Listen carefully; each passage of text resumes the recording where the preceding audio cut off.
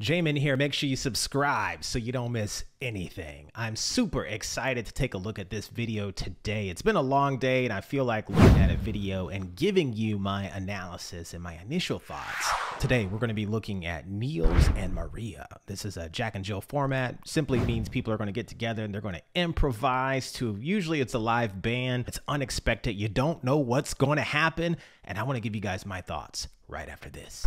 For this first song, can I please get Maria and Nils? Boom. Let's go.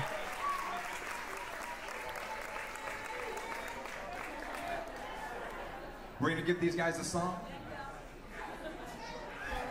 Where are the people? Let's give it up, everybody.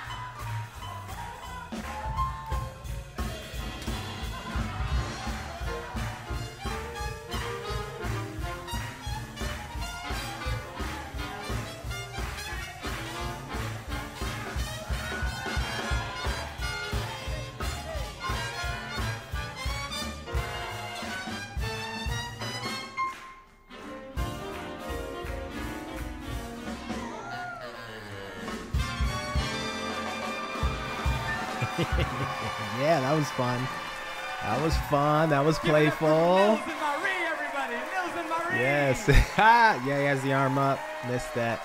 You always had those awkward moments. That's what we like. Obviously, this is a very playful performance, and I really like how well Maria and Nils just listen to each other's musical clues and and all the little indicators. That's a really important aspect of doing a performance with this type of social dance format. Both of these dancers are just incredibly competent, yet there's a slight difference in their styles. Maria is a little bit more smoother and laid back and groovy, but yet still a little playful. Nils seems to be really in tune with the musical cues the musicians highlighted and effortlessly made clear suggestions so Maria could just mirror his improvisations. Nils also created a safe space for Maria to improvise standing in one spot, or while he made like subtle suggestions to move in unorthodox positions. One of the things that I noticed that somewhat frustrated my viewing experience was just the lack of seeing Maria express